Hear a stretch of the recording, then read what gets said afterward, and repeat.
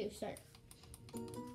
Hey, Grampy. So I'm at my work right now, but my car's in the shop because like it has a bad engine or something. So can you come and pick me up?